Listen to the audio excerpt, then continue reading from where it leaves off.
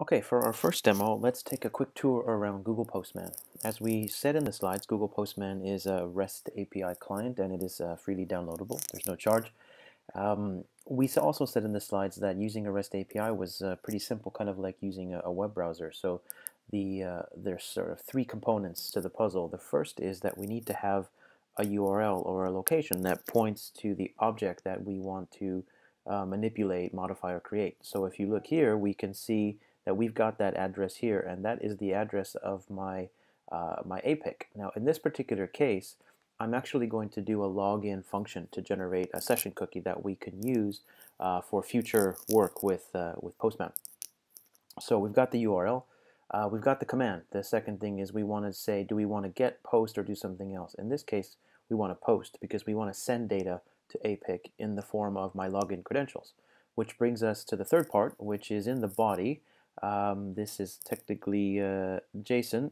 So um, we've got this particularly JSON formatted script that contains my username, admin, and my password that you can see here.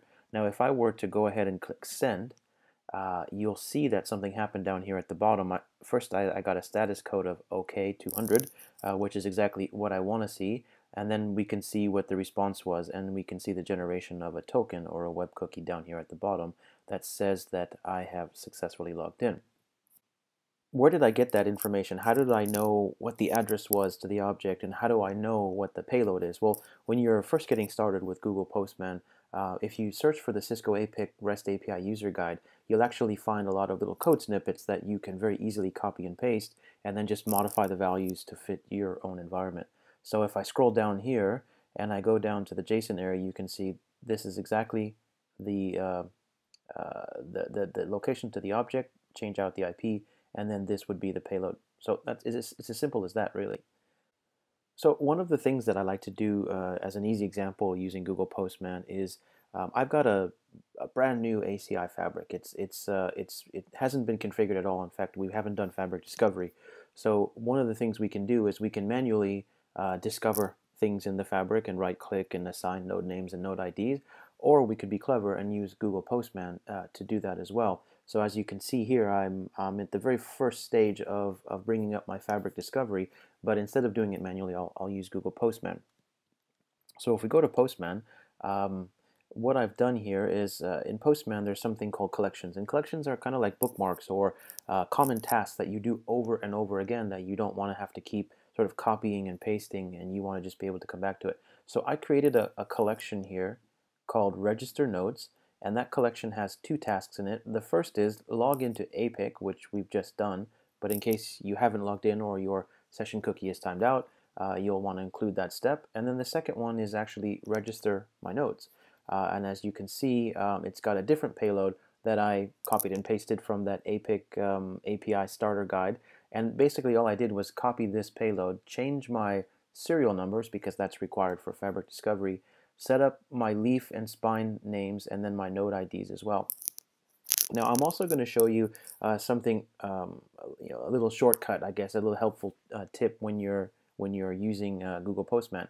So if you remember from the earlier example, my URL and my body had actual values, had, had actually hard-coded values. Well, what if I had multiple APICs that I wanted to log into, or I didn't want to hard-code anything? What you can actually do in, uh, in Postman is using a double curly bracket like you see here, replace the hard-coded information and declare a variable. So as you can see here, I've declared a variable called APIC, and then in the body, I've actually declared two more variables in double curly brackets, one called username, one called password.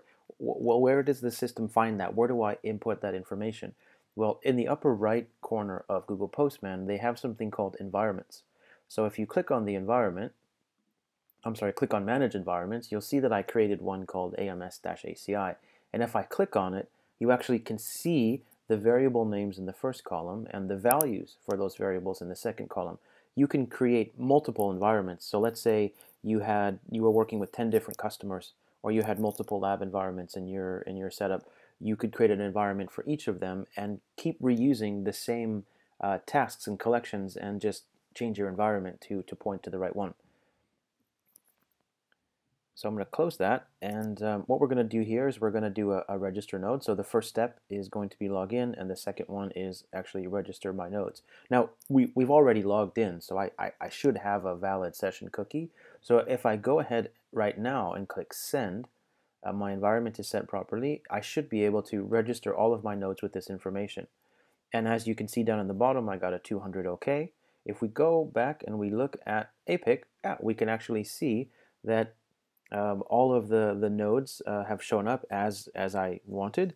Um, what's happening in the background now is the DHCP discovery of tunnel endpoints uh, is happening. IP addresses will get handed out, and in just like a minute or two, we'll actually have discovered the fabric. Now, of, course, with only five devices in my small lab, it's not entirely uh, impressive. But imagine if you had a whole bunch of leaves, like maybe 200 leaves and a, and a handful of spines doing it manually could take you, you know, a couple of hours, and, and using a programmatic tool is, is clearly a faster way to get things done.